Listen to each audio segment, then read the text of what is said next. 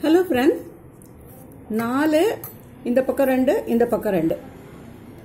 வேறு மாதிரி கோலம் இது. கொஞ்சம் சிக்காக இருக்க மாதிரி இருக்கும். ஆனால் போடும்போது ரொம்ப ஈஸியாக இருக்கும்.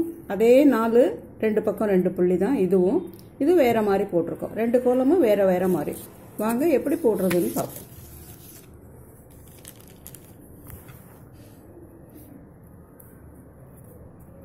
நாலு இந்த பக்கம் ரெண்டு இந்த பக்கம் ரெண்டு. நேர்புள்ளி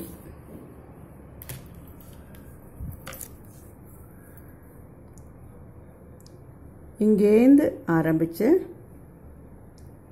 இந்த புள்ளியை சுற்றிக்கிட்டு இப்படி போய் மேலே இருக்க புள்ளியை சுற்றிக்கிட்டு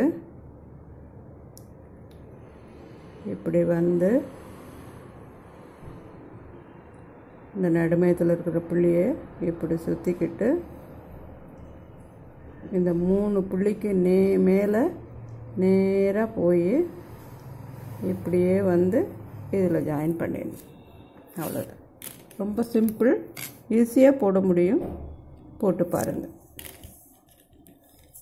பார்க்குறதுக்கு சிக்காக இருக்குமே தவிர போடும்போது ரொம்ப ஈஸியாக இருக்கும். அதே புள்ளியில் இன்னொரு கோலம் நாலு இந்த பக்கம் ரெண்டு இந்த பக்கம் ரெண்டு. இதுவும் ஈஸியாக தான் இருக்கும். இதுவும் இங்கேருந்து ஆரம்பித்து இப்படி போய் இந்த நடு புள்ளியை ரெண்டுத்தையும் இப்படி சுற்றிக்கிட்டு மேலே இருக்க புள்ளியை இப்படி சுற்றிக்கிட்டு இப்படி வந்து நேராக இந்த ரெண்டு புள்ளிக்கு நேராக குறுக்க போய் இப்படி வந்து ஆரம்பித்த இடத்துல முடிக்கணும்.